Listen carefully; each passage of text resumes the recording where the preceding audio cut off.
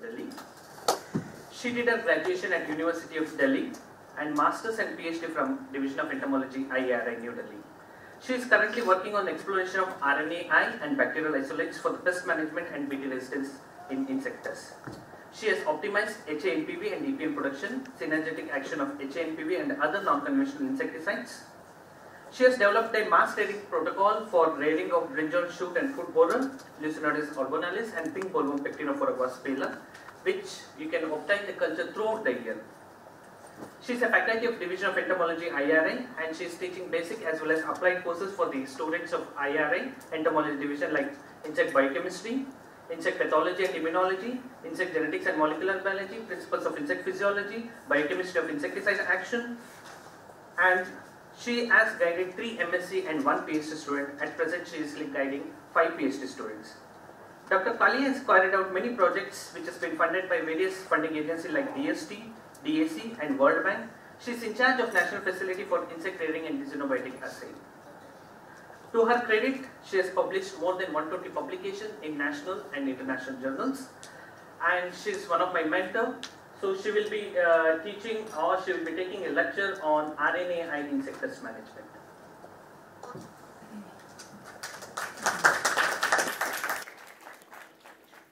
Okay, thank you, Sagar. It's coming. Its voice is okay.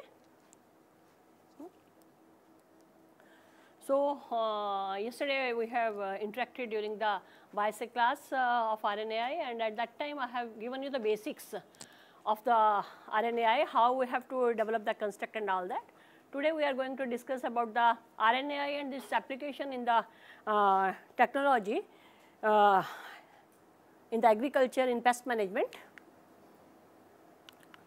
So insects we used to say as we are all entomologists dealing with the insects, we can say it's a class of distinct by virtue and their diversity. Their worldwide distribution, their ecological importance and their impact on other life forms. If insects are not like there, if we will say pollinators, how much agriculture you will get affected by that? We are getting silk from the silkworm, we are getting lac from the, so they are the insects which is of uh, importance to us. Uh, besides that, uh, still they are used in biocontrol as a parasitoidal predators, but still we are worried about them. Why? Because insect pest lights are like that only. I think it is not uh, visible. So, the main constraint uh, to agriculture production worldwide, it is qualitative as well as quantitative. So, quantitative we can say yield loss.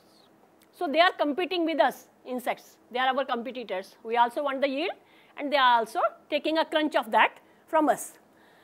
And qualitative is appearance. When you go to the market to buy fruits or the vegetables, you want to have a good looking, isn't it? You don't want any with from the scars but uh, they are showing uh, as in case of brinjal shoot and foot borer or you can see in case of uh, mango if such kind of things are there. So, this also affects the shelf life as well as taste that is organoleptic and losing our export potential due to certain quarantine pests. One of good example is fruit fly. So, we can say it is a life threatening also if we are talking about the public interest. Then we can say vector of diseases, mosquitoes that transmit malaria, fleas, carry plague, lice that carry epidemic, epidemics like typhus. Okay. So, and besides that what as, as I told you that they are our competitors and besides that another factor our population is bursting up isn't it? By FAO you can see the world population will grow by 39 percent over next two decades. In India if you say we, are, we will be 1.7 million by 2050, how we will feed them all? So, we have to contest what, with the insects. So, for contesting with the insect, what we are doing? We are developing new and newer molecules and insects are very clever and they are getting resistant to it. Okay. They say, come, you bring the molecule, I will take care of that. Isn't it? That is the kind of diversity insects has and that's how we are in a trouble. So, trouble is due to the molecules or certain unjudicious use of insecticide that is also there. We are also a part of that for developing such kind of uh, problems for ourselves. So, insecticide we are having to control or reduce insect pest, but in the greediness or just to have uh, the efficacy, good efficacy, what we will say, indiscriminately we are using it. So, what it will come to? It will responsible for environmental hazards, insect resistance, secondary pest outbreak, loss of the biodiversity and imbalance in the ecosystem. And above that, residues are also there, which is affecting the stakeholders like us and our animals who are feeding on that. And if you see by the, so this is arthropod resistant database and you can see the cases are 5660 of resistance development and outnumbered by the diamondback moth 858 cases are there followed by Helicoverpa armigera, likewise fall armyworm, then aphids are there. So, how they are? They are creating a problem by developing resistance whatever newer molecule. Why the Plutella is at the above? At the outset you can say first number because it is having the shortest life cycle from all of them.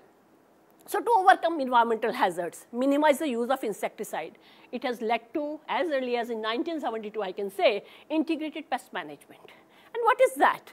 Careful consideration of all available techniques because we have many techniques, subsequent integration of appropriate measures to discourage the development of pest population, keep pesticides and other intervention to levels that are economically justified, minimize risks to human health and the environment, grow a healthy crop with the least possible disruption of agroecosystem and encourage natural pest control. So, we have to go for the natural pest control.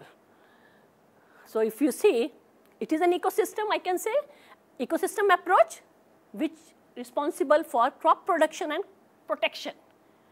So, we want more production by protecting our crops. So, there is also the innovative methods which are responsible for improved crop yield, reducing application of pesticide, improve environmental health. So, what are these innovative methods required for?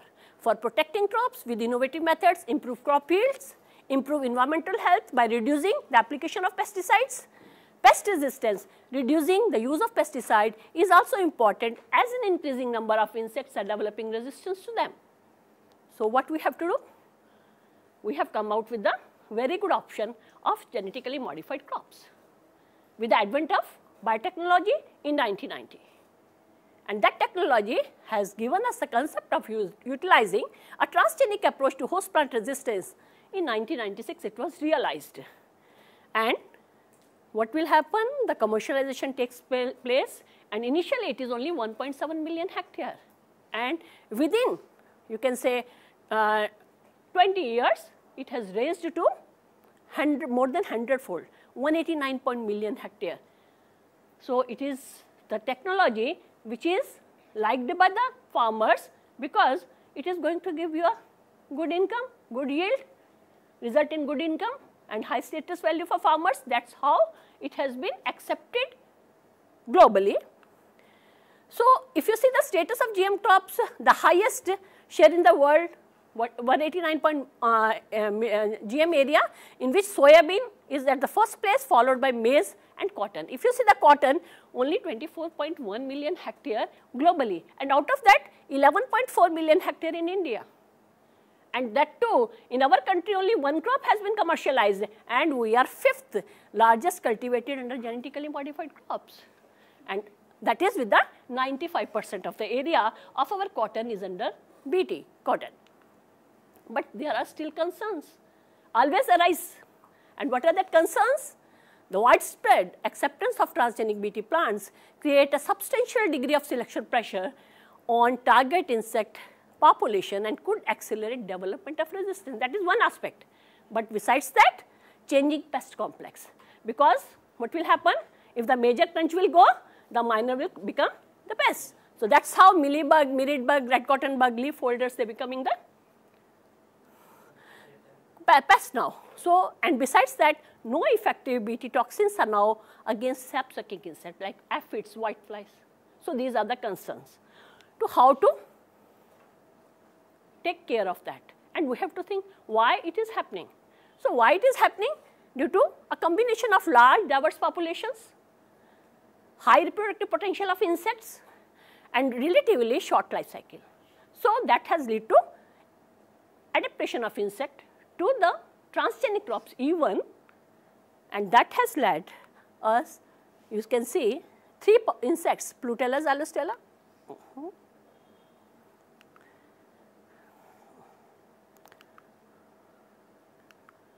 Plutella xylostella, here Plodia interpunctella trichoplicene. These insects have developed resistance against the Bt formulations, whereas 6 insects you see underneath has developed the resistance against the transgenic plants. And in India only cotton is there and India has developed, uh, in India pink bollworm has developed resistance to both Cry1 AC means Bollgard 1 and dual cotton, Bt cotton that is carbon AC plus Cry2 AB in 2018. The reports are reported by uh, CICR as well as R lab has also reported that. So now Bt is transgenic has started, isn't it? Why? Due to development of resistance. So what is there next? Demand for novel sustainable environmentally friendly approaches are required. So we have to look into the alternative strategies required and one of them I think has been dealt by Dr. Ashokan, CRISPR editing and another one is the ribonucleic acid interference. So what is it? It is an emerging alternative genetic tool in the ongoing task of developing pathogen and pest resistance crops or sprayable formulations. Initially, we are talking only about GMO crops, but now as in many countries like in R, there is no scope of the transgenic crops uh, due to many factors, public concern. So, we have to look for the sprayable formulations along with that. So, how it has been initiated? So, this phenomena was first observed in Petunia by Richard Rich uh, Jorgensen and his co-workers in 1990. What they have seen, they want to attempt, they have attempted one work, this kind of flowers they have, they want it to be get darker by the overexpression of chalcone synthase, that is anthocyanin pigment. But when they have, they want to do it, what will happen? They expected this, but they observed this. Then the question has come, what is this? We have targeted something and results is different. So then they called it as a co-suppression because suppressed expression of both endogenous earlier occurring and transgene what they have done. So they named it as a co-suppression, suppression of both. And afterwards in 1992, another group of workers are working with the uh, fungi, Neurospora crassa and they want to add the carotene, carotenoid synthesis in them, in the, that mold. And but they also found that inactivation of the mold own gene and they called this gene as a quelling. So, what is the, uh, uh, uh, it has come to uh, is a way for the cell to defend itself RNA interference, a mechanism that degrade unwanted RNA in the cytoplasm, introduction of gene specific dsRNA into a cell, gene knockdown of or silencing in insect and antiviral immune defense system involved in the RNA pathway. This is what we can learn. So, what is gene? If it is gene silencing then what is gene? Genes are discrete segment of DNA that encode the information necessary for assembly of a specific protein, isn't it? Specific protein, one gene, one enzyme, there is that. So, one gene, one protein is there. So, that specific gene is responsible for that. And if that gene gets silenced, that specific targeted protein can be silenced. So, how this information encoded in DNA is expressed in the formation of protein.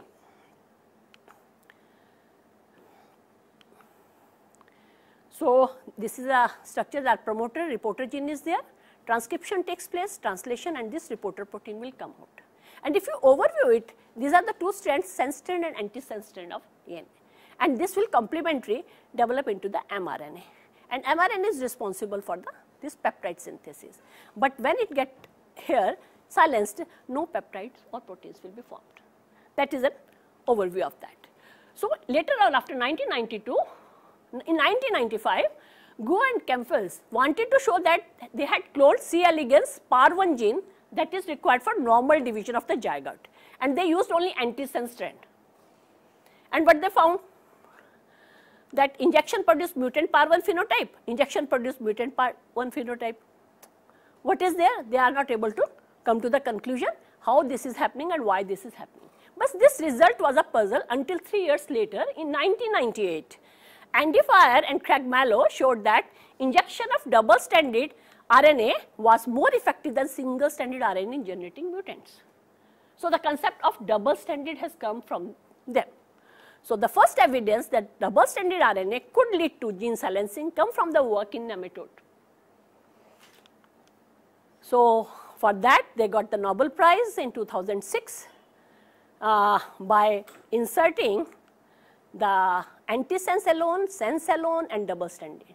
And they found where they have incorporated the double stranded, there is a twitching of the muscles. So, means where the this gene is mutant, su such kind of observations are there. So, it means it has the ability to silence that. So, this is the timeline what we have discussed so far from 1990 from Jorgensen et al. till the 2006 they get that Nobel Prize. What is after that? So, how this mechanism, okay, this is happening. Now, what is the mechanism behind that? So, two mechanism can explain gene silencing. That is transcriptional gene silencing, that is result of modification of either histone or DNA. Okay, it is not post-transcriptional, it is transcriptional. And post-transcriptional gene silencing mRNA of a particular gene being destroyed or blocked.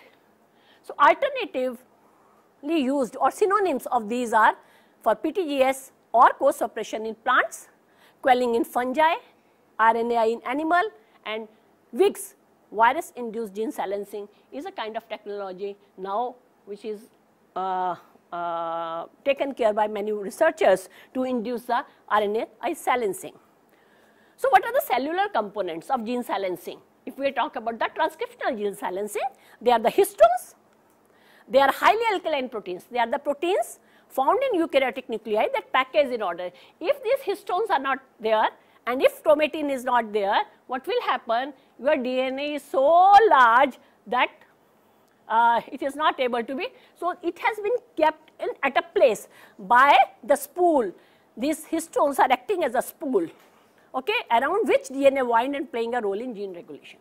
And chromatin is a mass of genetic material composed of DNA and protein that condense to form chromosome.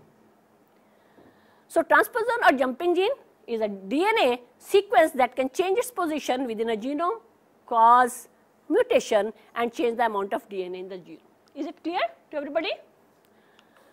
So, besides that there is the dicer, there are siRNA, then there are the RISC which we are going to uh, discuss as we come to the enlarged mechanism of that. Now, first we will discuss about RNA induced transcriptional silencing. How it is happening? It is the form of RNA interference.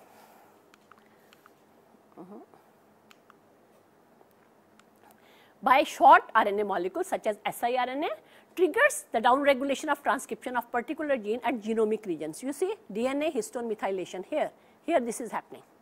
Okay and the modification of histone and associated induction of heterochromatin formation serves to down regulation that is known as pre-transcriptional that is silenced by pre-transcription. Before the transcription takes place, this process to as RNA induced transcriptional silencing or RITS and is carried by the complex of protein called as a RITS complex. Okay? So, now coming to the post uh, gene silencing which is used as a technology for their application to control the insect pest. So, how it is happening as uh, Fire and Mello elucidate the mechanism that double stranded RNA is responsible for that. Really that is the only thing then how naturally it is occurring. This is a natural process which is going on within the organism and what are that? That are for immunity, RNA interference is important in, in uh, antiviral innate immunity and active against viral pathogen. In insect, in plants also it is present there. So, it is a natural process which is going on in most of the organism. And downregulation of gene because not all the genes are always not in upregulation or downregulation. Whenever it is required, it has to be either down uh, either upregulated when it is required and when its function is over, it has to be downregulated. So, these are the three biological function of these dsRNA in the normal all the naturally occurring organisms. Downregulation of genes endogenously expressed miRNA including both intronic and intergenic miRNA are most important in translation repression. And upregulation of genes RNA sequence siRNA miRNA in both the cases siRNA or microRNA are there. Increased gene transcription part of the mechanism for how these upregulate gene is known as dicer or argonaute which I am going to discuss now here in the back slide.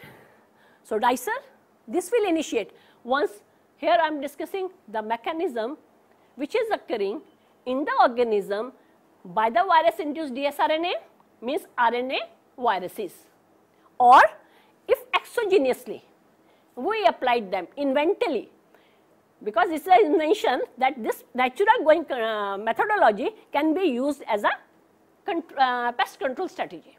Okay. So, this dsRNA it has to be cleaved by RNA-C dicer initiate formation of RISC RNA inducing silencing complex. So, here, these are the siRNAs. Okay, these siRNAs will load on the RISC complex and this step is known as the generation of siRNA is initiation step when siRNA is initiated. These are small interfering RNA and uh, these are also double stranded both having antisense and sense and 20 to 25 nucleotide in length involved in RNA pathway expressed at a specific gene. So, at specific gene when we are targeting this is happening and this will loaded on the RISC complex and argonaute protein is a component of that RISC protein complex and this is responsible for guiding it to find out the complementary position in the mRNA where it will go and bind to degrade that and that is known as a degradation step. Okay? So, target specific mRNA here it will antisense or we can say guide, guide strand. It will bind to that and as a result of what, what will happen this is degraded silencing and no protein will be there. And what else is going on this uh, once it is over this will go into the system again this disk complex is reutilized recycled in the system. And if RDRP system is there it will go and bind to develop this your uh, double stranded RNA again the process will that is known as systematic how it is going in the system. Okay. So, what are the different pathways as I have talked in between siRNA as well as miRNA. So, it is miRNA but initiated in nucleus with the help of Drosha and its cofactor is PASHA and microRNA is involved developing the cytoplasm. Whereas siRNA small interfering RNA it is going on in, SI, uh, in uh, cytoplasm only. And another is PV interacting RNA it is independent of dicer. Both miRNA and siRNA dependent on dicer whereas PV is independent of siRNA and I am going to uh, discuss in detail about these siRNA and miRNA. Major component of RNA pathway will say it is Drosha process a cofactor, dicer, RNA inducing, uh, induced silencing complex, RNA dependent, RNA polymerase, RDRP, argonaute protein, homology seeking, this is what which is responsible for homology seeking proteins, AGO1, AGO2, PV, STING, many are there. Okay as many workers are working globally with the diverse number of insects, depending upon that new reports are coming which are elucidating more and more about its mechanism to certain extent, but not still it is fully elucidated. Okay. So, we can say what is the difference between siRNA and miRNA? siRNA originate with dsRNA, miRNA originate with single stranded RNA. Hairpin secondary structure siRNA response to foreign RNA usually viral 100 percent complemented the target whereas miRNA is not 100 percent complemented to the target. Clear? Now, what is miRNA pathway? As I told you, few things are going in the nucleus. So, what is that? You see here, this is the primary RNA which is converted into pre-miRNA that is by Drosha enzyme and cofactor PASHA that is converted uh, that is taken out by exportin 1 protein to the cytoplasm and rest it is a similar function as in case of siRNA it is loaded on the RISC complex, then antisense guide, strand will uh, along with the argonaute protein go to the complementary or uh, uh, the homologue region and bind there and silence that particular gene. Clear to all? So, but still there are other variation. We are talking about only proteins, isn't it? Argonaute proteins. Are they are universally of same size, same type? No, it is not. There is a variation. As there was, there are so much of variation of the insect. Similarly, there is a variation, and that, that all depends upon the findings conducted by a different researcher in globe. So, in Drosophila melanogaster, or still many has to come. Okay. So, in Drosophila, melanogaster has two prologues. One is dicer 1 which process miRNA and other dicer 2 which process siRNA. It means this is also variable, insect based variability is there. Then in Drosophila, AGO1 is involved in the miRNA pathway and AGO2 in the siRNA pathway. It means they are also variable. Then if we talk about the tribolium castaneum, only one type of AGO protein has been identified in miRNA. That is TCAGO1 and two classes of AGO protein and siRNA, TCAGO2A and AGO2B. And the nomenclature is given by these proteins by different workers. As initially you see in the Drosophila it is given AGO1, AGO2. In Tribolium castaneum has worked, they have named it as TC, Tribolium castaneum. They have given species, genus and specific name. So, it all depends upon the worker working and how they are giving the nomenclature to the uh, component on which they are working. So, Bombyx mori 3 RNA pathway has been identified. As such, RNA has become the most widely used reverse uh, genetic research tool in insect and have great potential in the agriculture.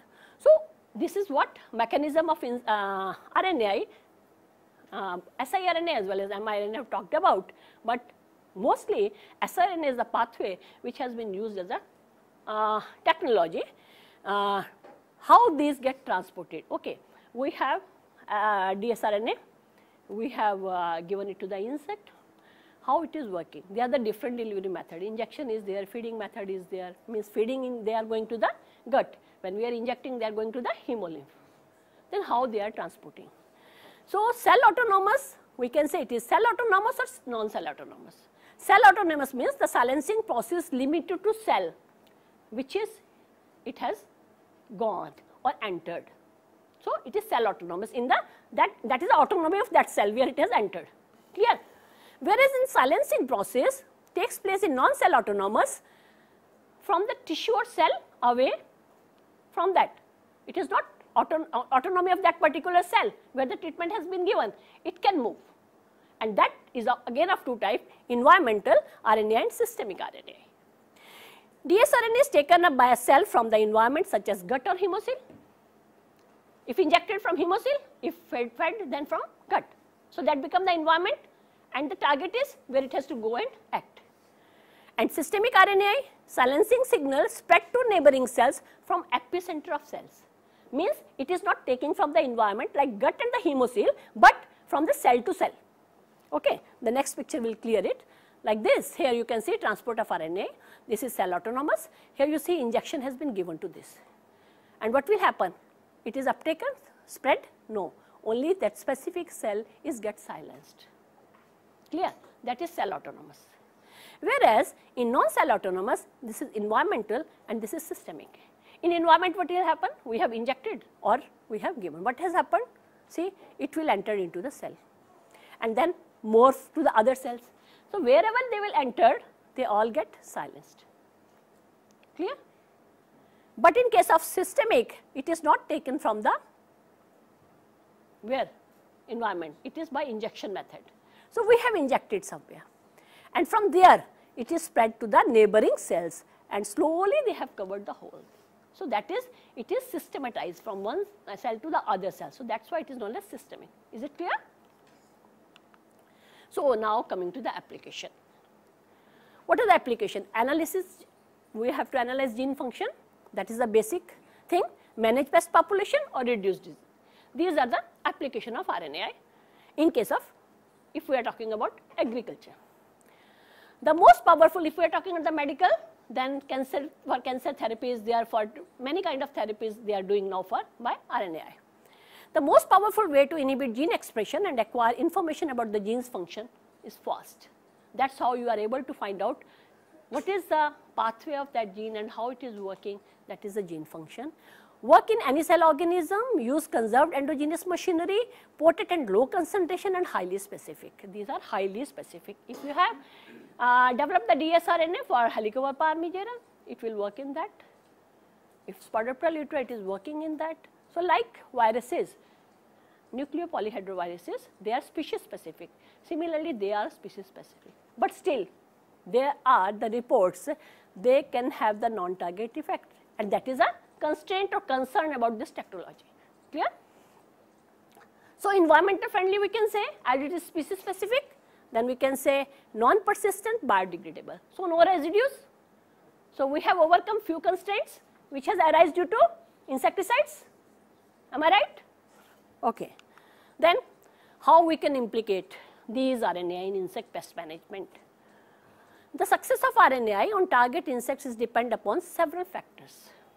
Target gene, what gene we are targeting, whether it is growth and development gene, whether it is related to your uh, uh, mode of action means uh, metabolic pathway, uh, growth and reproduction means uh, with the uh, growth and development means like related to metamorphosis or reproduction or you can say metabolic pathway or insecticide metabolism, MFO, cytochrome and many other acetylcholine uh, cholinesterase. So, there are many, the concentration of dsRNA, how much is required? And then nucleotide sequence, what kind of nucleotide sequence it has, length of the dsRNA fragment, mode of delivery, how it has to be delivered. Being a plant protection specialist, we can say injection is not, not the right method, it is not applicable to the crops, isn't it? So, we want it as a either feeding assays means sprayable formulations or the transgenic. These are the two methods by in which we can give them as a by injection and then mode of uh, the life stage of target insect, which insect uh, target is uh, stage of the insect we are targeting, which insect we are targeting.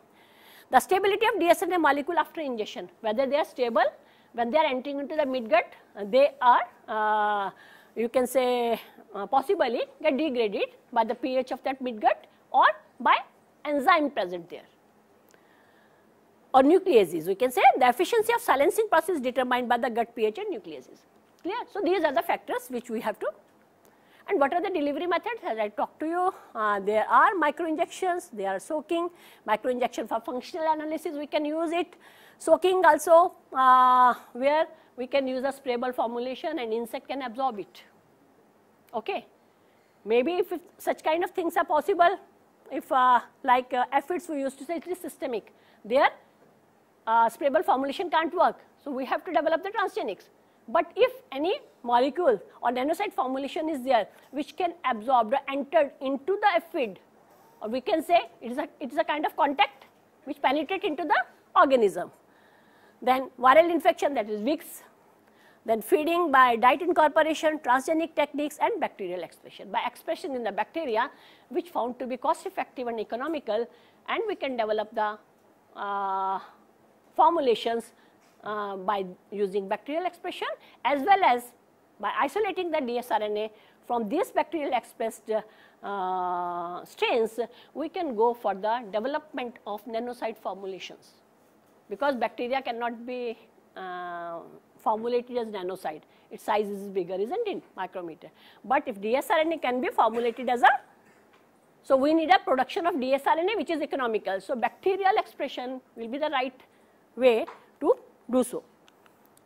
So, microinjection as I have told you for functional genomic analysis, sprayable RNA based products economical and then piercing sucking we are not able to do so. For that there are the methods reported in the literature root absorption or trunk injections are there which acts as a systematic and then transgenic plants as I have told you. So, these are the different uh, uh, mode of uh, feedings. Uh, uh, mode of formulations developed by viral, by microbes, uh, bacteria or by liposomes. It has been reported by Vogel recently in 2019, very good review. Please go through that review, you are able to find out many good things there.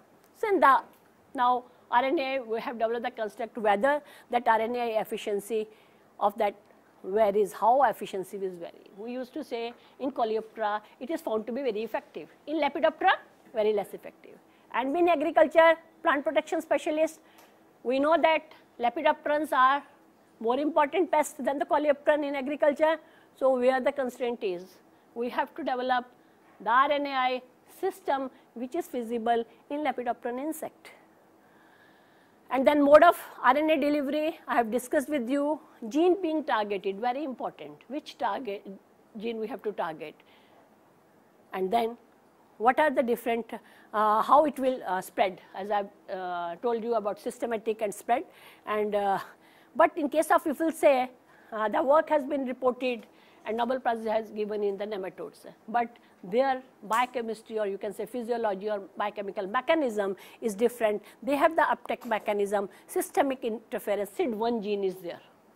Okay? And systemic spread is by RDRP. Really it is present in all the insect or some insect that is the another thing which has to be elucidated. And if you see this successful example of RNA directed gene silencing is there, here you can find out that uh, these are the different uh, uh, insects used and if you see the concentration here, then the question has come to your mind. So much of variation? Why? Because this variation all depends upon yesterday while uh, giving a practical class I have told you what affects the bioassays because all the things so far is going in the laboratory. The methodology used by the worker, whether it is effective at 1 microliter or in the nanogram per centimeter square or 1000 nanogram means 1 microliter again or even you can say 10 microgram, the highest dose. On, in the Glossina they have checked. And then if you go to the next, you see here the variation. As low as has been reported in uh, feeding 0.05 to 3.2 nanogram. So this is the thing which has to be standardized. How we have to test at the laboratory level to find out really what is the concentration required and for which gene lowest concentration is required. So these are the interrelated target gene and the concentration required for silencing that gene.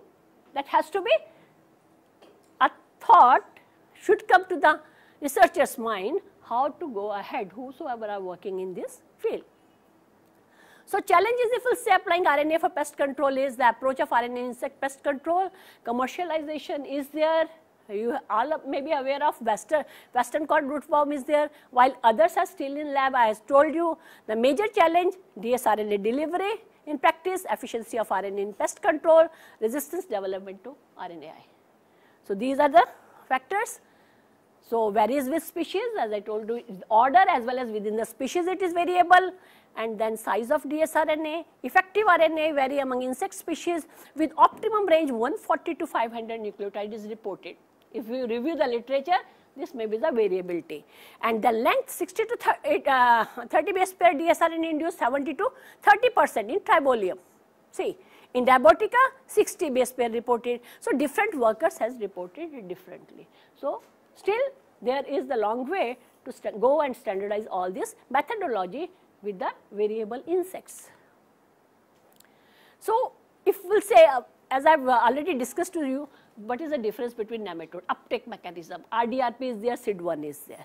Okay, so that is the variation. So, we can't go implement it like that it has happened in uh, nematode it will happen in insect also. Okay, so we have to elucidate the mechanism. Uptake uh, intrinsing of the tissues is that epithelial cells of the insect midgut brush border membrane because in the midgut when it will enter peritrophic membrane is a protecting covering. It has to enter into the midgut cells then enzymes or nucleases are there which is going to affect it. Then perimicrovillar membrane in Hemiptera and peritrophic matrix in the midgut of Coleoptera and Lepidoptera species that is a physical barrier for the delivery of dsRNA. Means it is not permitting to enter into the cells. Unless it will enter into the cells it is not going to work because it has to enter into the not in the lumen into the cell for its real function mechanism. So, cellular uptake endocytosis the discharge or escape from the endosome transfer of dsRNA cytoplasm. So, these are the different factors which are responsible for the things. If it is quickly degrade in the midgut, then it won't work. So, it should be stable.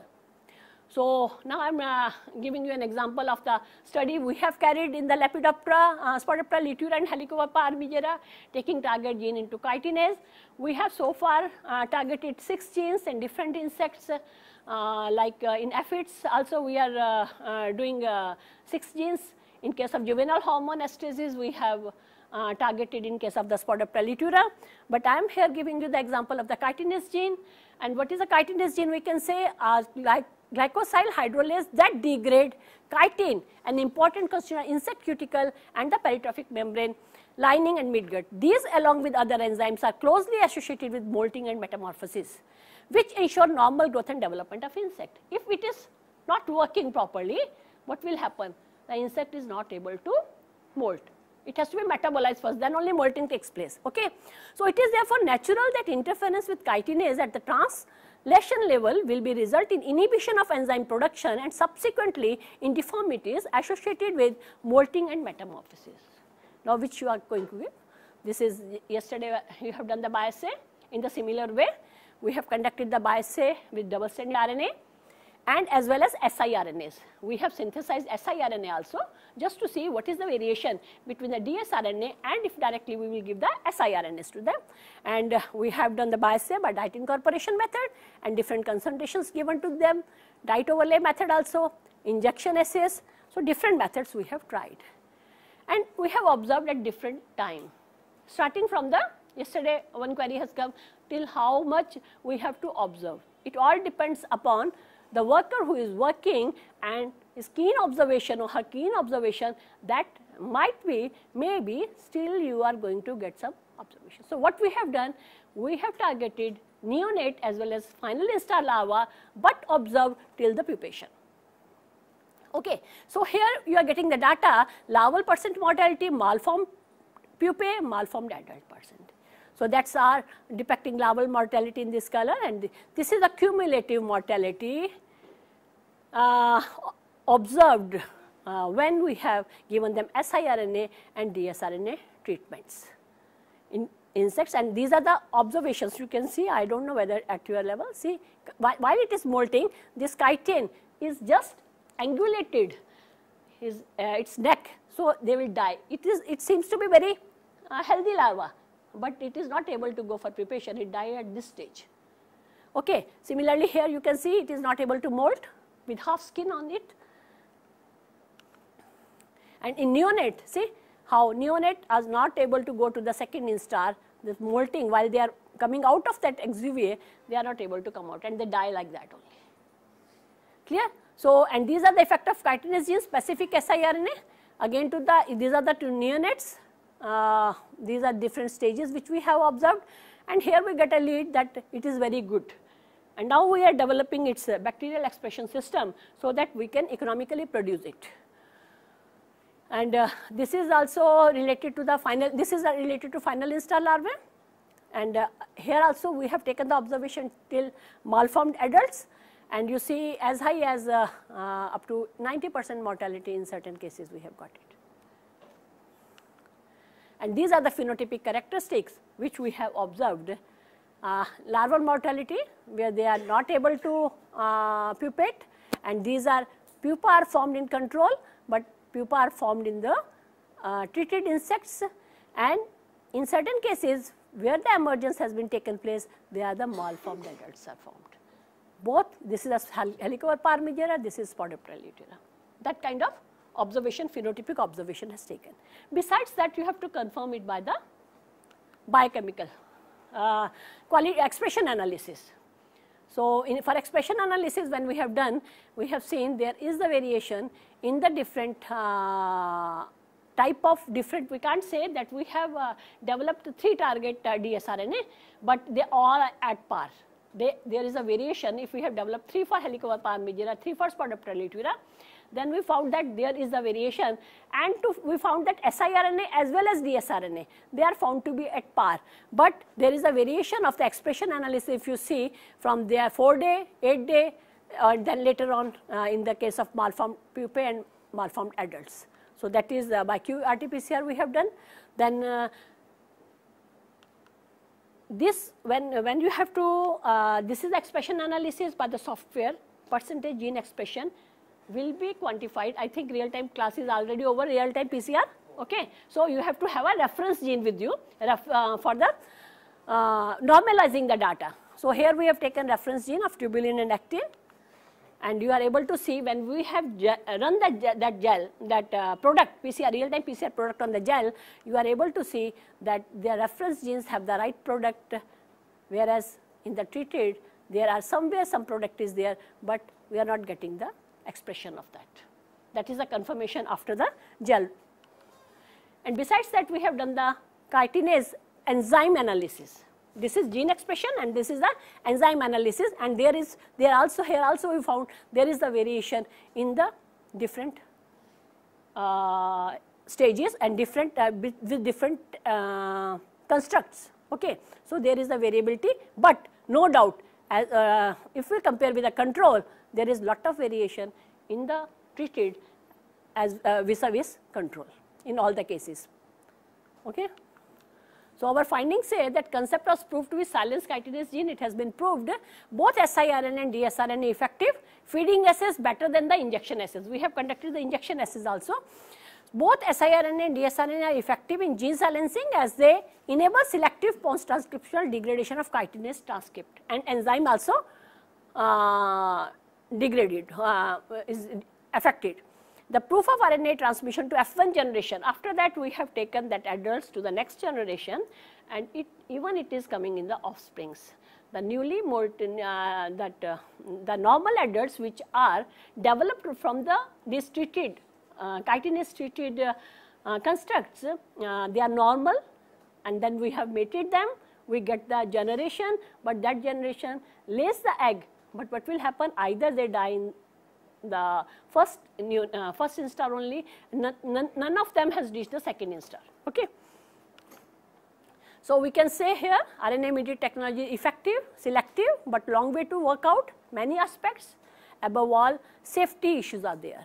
So, in European Food Safety Authority, Parma, Italy in 2014, there are to discuss potential risk associated with the RNA interference. Still there are the risks. So, biosafety is utmost important because repercussions will come after later on. Now we are seeing the goody goody things, okay. It is effective, we are going to do this and that, see we are able to control the insects, but the stakeholders are we. And when we take it, how it, whether it get transferred, whether it get degraded, still it has to be find out. So ethics of biosafety still has to be cleared. So safety, safety evaluation, if you see certain reports are there, siRNA is often silenced uh, by other we can say off target effects are there and then silencing the target gene in unintended organism immune uh, stimulation is there saturation of RNA machinery will be there physical exposure. So, there are so many things which has to be worked out. So, future prospects we can say no doubt there are the prospects to study more and we can say we have not uh, we have st uh, still at the initial steps only okay still long way we have to go. So, these are the different uh, uh, prospects, the availability of the availability of genomics or transcriptomic sequences. As I told you yesterday also, how you will identify your target gene. Target gene will have to be identified. Either you have the transcriptome data of that or from the NCBI portal you have to download. If you are targeting certain insect and that gene uh, information is not available there, then you have to take the related species, then you have to what you have to do? Conserved region you have to find out and that from the conserved region you have to design the primers and then you have to target it and then you have to get it sequenced and find out whether the target is same or not. Okay. And choice of promoter is the important factor affecting the abundance of in case of transgenic plants when you are transgenic. So, promoter is there important potential risk of RNA in agriculture practices of off target effect means non-target organism. You are targeting certain insects, but it is also, if it, it become broad spectrum, what will happen? It will affect your other uh, biocontrol agents also. Okay. So, combined strategy is useful, gene pyramiding as we are saying Bt transgenic is threatened So to overcome that, we can go for the pyramiding of RNAi and Bt transgenic cryotoxins. Maybe it is overcome that resistance which is developing. Okay? To sum up, I can say RNAi is efficient gene-specific silencing mechanism, need for understanding RNA machinery in insect, successful pest management. RNA is efficient in major orders like Coleoptera while it is insensitive in some orders like Lepidoptera. The presence of RNAs, RDRP, SID1, specificity, pH in insect midgut and storage, dsRNAs, endosomes affects the efficiency of RNA in insects. So, there are so many factors to be taken care of and uh, same pyramiding which I have discussed is a good one, but challenges are also there. What are the challenges? Identification of right target genes, expression level, then biochemical and bioassay study, generate data for laboratory bioassay, then sorting the effective gene based on mortality data, and development of sprayable formulation or transgenic plants. That is our utmost and or target or objective to get it done. So, work to be carried out at the systemic analysis of the molecular physiological basis of RNA mechanism and conceptual understanding of RNA function in insects will facilitate the application of RNAi for dissection of gene function. Still there is a long way to go till the biosafety and ethics and all rule and regulation come into existence. No doubt we have the transgenic lines with RNA in pipeline, but still as the norms are not at their place, still we have to wait. So, these are the suggested reading references. So, thanks to you all.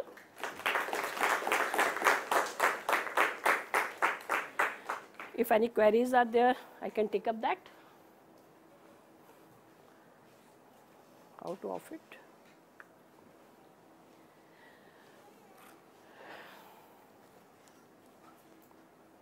If not, then thank you very much.